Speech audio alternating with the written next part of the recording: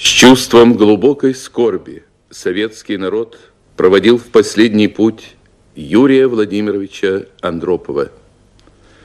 Вчера до позднего вечера и сегодня в утренние часы в колонном зале Дома Союзов продолжалось прощание.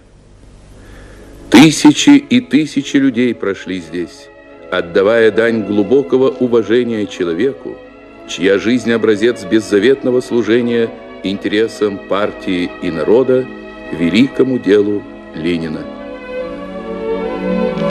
Память Юрия Владимировича Андропова почтили делегации Коммунистической партии Австрии во главе с Францем Мури,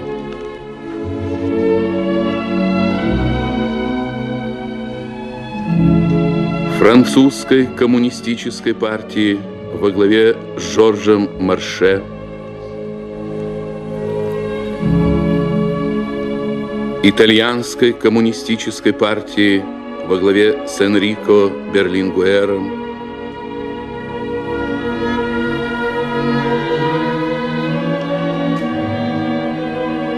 Колонный зал посетили делегации Индии во главе с премьер-министром Индирой Ганди,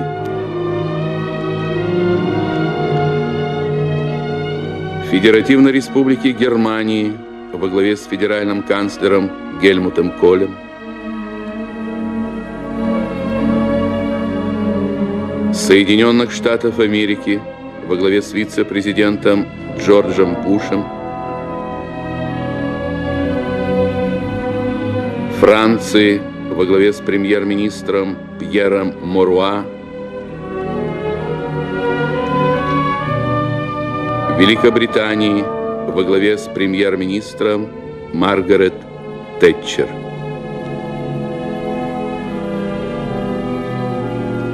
Италии во главе с президентом Алессандро Пертини, делегации других государств. Дань глубокого уважения памяти Юрия Владимировича Андропова отдают представители союзных и автономных республик нашей многонациональной страны.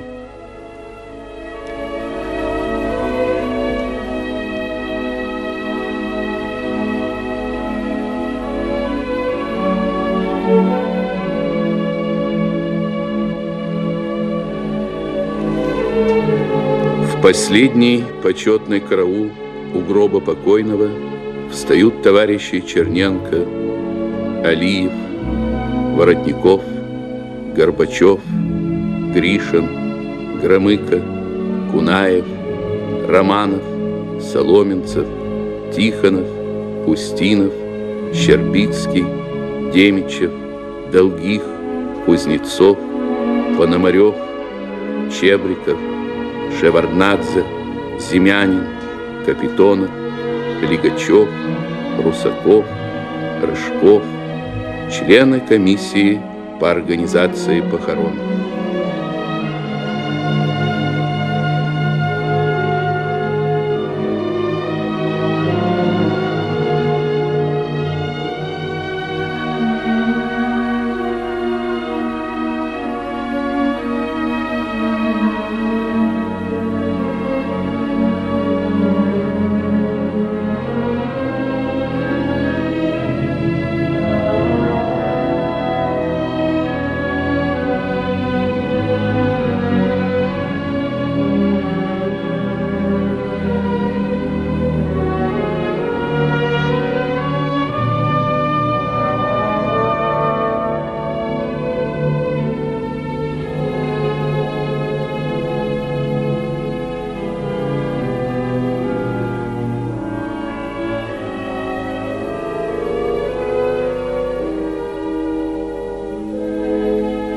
Одиннадцать часов.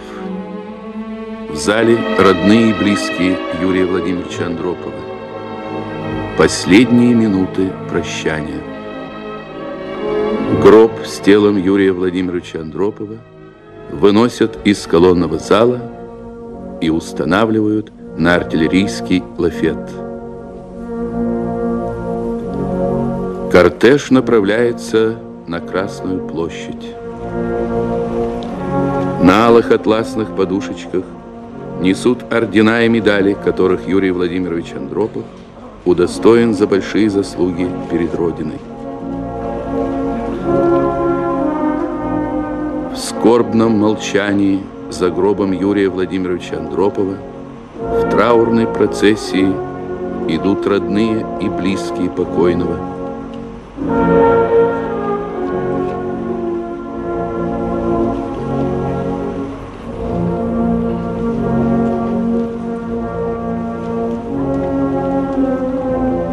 руководители коммунистической партии и советского государства, члены комиссии по организации похорон, представители общественности.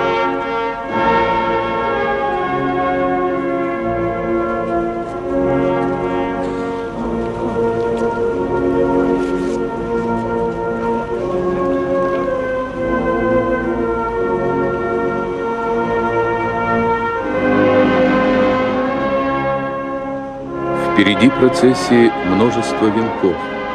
От ЦК КПСС, Президиума Верховного Совета СССР, Совета Министров СССР, от партийных, советских и общественных организаций, от трудовых коллективов страны. Здесь же венки от зарубежных делегаций.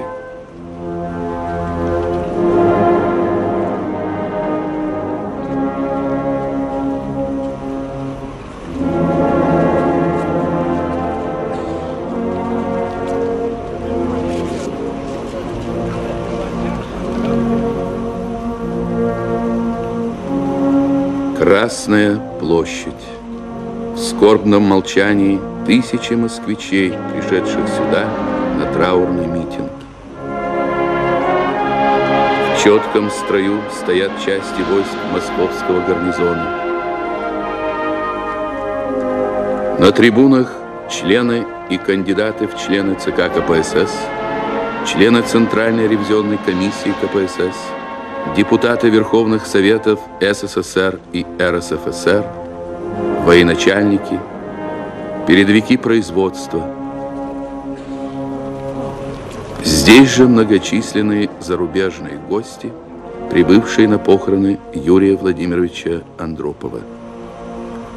Присутствуют члены дипломатического корпуса.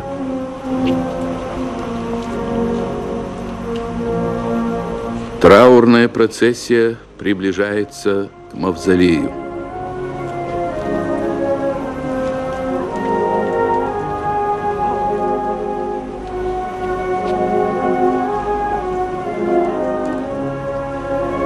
Гроб с лафета переносится на постамент.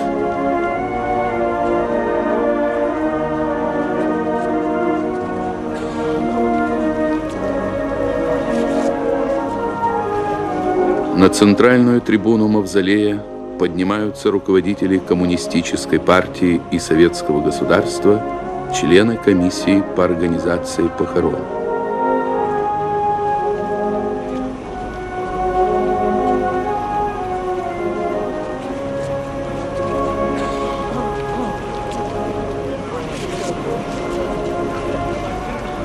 Траурный митинг открывает генеральный секретарь ЦК КПСС Константин Устинович Черненко. Дорогие товарищи, в сердцах советских людей глубокой скорбью отозвалась кончина Юрия Владимировича Андропова. Ушел из жизни славный сын коммунистической партии, выдающийся политический деятель, человек широкой души и большого сердца. До самого последнего дня Юрий Владимирович отдавал все свои силы делу партии и народа. Яркую, до предела наполненную жизнь прожил Юрий Владимирович. Комсомольский вожак руководитель партизанского движения, дипломат и партийный работник. Всюду, куда его направляла партия, работал он вдохновенно и самоотверженно. Его замечательные качества коммуниста, ленинца – преданность коммунистическим идеалам, неизгибаемая воля, скромность и деловитость, забота о человеке труда. Все это снискало ему огромный авторитет в партии и в народе. Руководитель ленинского типа Юрий Владимирович Андропов обладал даром глубокого проникновения в сущность происходящих событий, умением осмыслить их, сделать четкие, ясные выводы, сплотить людей и повести их за собой. Испытанный деятель партии Юрий Владимирович Андропов вносил большой вклад в работу ее коллективного руководства, ядра Центрального комитета и Политбюро ЦК. На высоком посту генерального секретаря ЦК КПСС особенно полно и ярко проявилась его организаторский талант, обширные знания и богатейший жизненный опыт. В этот период усилия партии и народа были направлены на поиск новых путей совершенствования развитого социализма, при умножении экономического могущества страны, повышении жизненного уровня трудящихся, укрепление трудовой дисциплины, организованности и ответственности на всех участках работы. Коллективно выработанные Центральным комитетом КПСС решения встретили полную поддержку в партии и в народе, принесли немалые позитивные перемены. Огромная заслуга здесь принадлежит Юрию Владимировичу Андропову. Товарищи, в эти скорбные дни прощания с Юрием Владимировичем Андроповым вновь зримо проявилась монолитная сплоченность коммунистической партии Советского Союза, нерушимое единство партии и народа. Миллионы коммунистов и беспартийных практическими делами подтверждают доверие к партии, к ее внутренней и внешней политике. Ничего выше, чем доверие народа для нашей партии нет и не будет. Коммунистическая партия Советского Союза, ее Центральный комитет обладает ясным видением перспективы, четкой программы работы. Партия ведет советский народ к новым свершениям, научно выверенным курсом, ленинским курсом. И с этого курса мы не свернем. Это вновь подтвердил состоявшийся вчера неочередной пленум ЦК КПСС. Мы будем и впредь поддерживать инициативу МАЗ, тот созидательный подъем, которым охвачена ныне партией народа. Главное сейчас, руководствуясь решением 26-го съезда партии, пленум ЦК, закрепить и приумножить позитивные сдвиги во всех сферах общественной жизни. Теперь, товарищи, особенно важно делать упор на конкретные дела, добиваться реальных и весомых результатов. Именно по ним партия будет оценивать и зрелость руководящих кадров, и работу трудовых коллективов, и достижения республик, областей, всех отраслей народного хозяйства нашей страны. Страстный поборник мира на земле Юрий Владимирович Андропов многое сделал для укрепления международных позиций нашей страны, повышения ее обороноспособности и боевой мощи советских вооруженных сил. Его помыслы и практические дела были сконцентрированы на том, чтобы сохранить мир, уберечь человечество от угрозы ядерной катастрофы. В нынешней крайне напряженной обстановке мы ясно заявляем, Советский Союз будет продолжать политику мира, мира прочного и справедливого для всех народов, больших и малых. Мы подтверждаем свою готовность переговорам, но к переговорам честным, на основе равенства и одинаковой безопасности. Угрозами нас не запугать. Оборона наша крепка, и мы сумеем защитить все, что завоевано трудом всех советских людей. Народы социалистических стран мы сегодня можем вновь сказать, что развитие на основе проверенных жизнью принципов пролетарского интернационализма остается нашим неизменным ориентиром. Советский Союз выражает солидарность с борьбой народов освободившихся стран за независимость, социальный и экономический прогресс, против посягательства империализма на свободу и подлинное демократическое развитие. Товарищи, от имени нашей партии и правительства, от имени советского народа хочу выразить признательность братским партиям, трудящимся социалистических стран, правительствам и народам других стран, всем, кто почил светлую память Юрия Владимировича Андропова. Мы твердо заверяем советский народ, наших друзей за рубежом, что коммунистическая партия Советского Союза и впредь будет неизменно идти дорогой Ленина. В этот горестный час прощания с Юрием Владимировичем хочу высказать самое глубокое соболезнование его семье и близким. Прощай, наш дорогой друг, товарищ Юрий Владимирович, твой светлый образ навсегда останется с нами.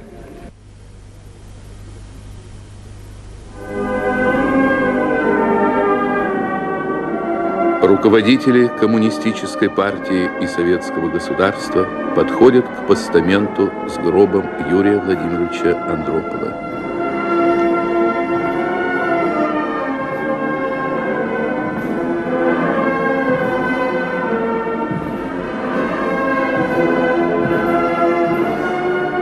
Процессия направляется к Кремлевской стене.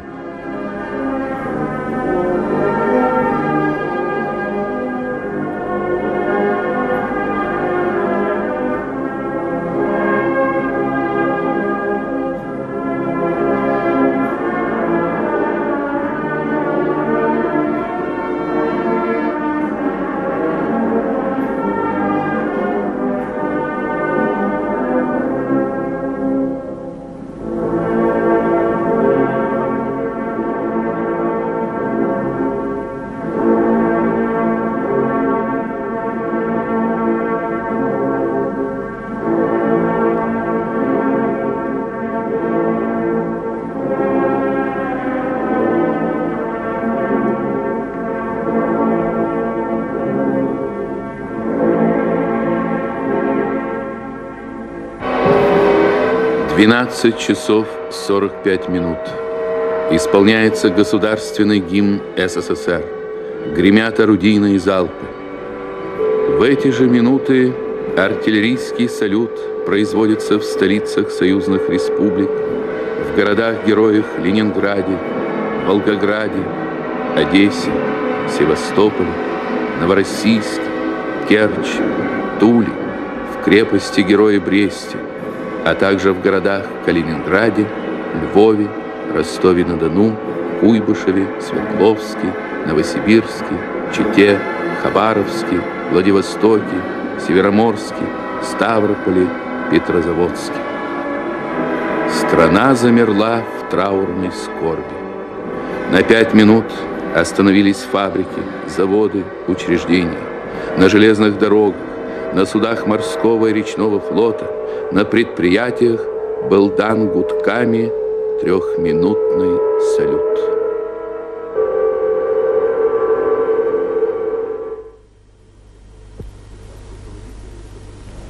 Руководители коммунистической партии и советского государства вновь поднимаются на центральную трибуну.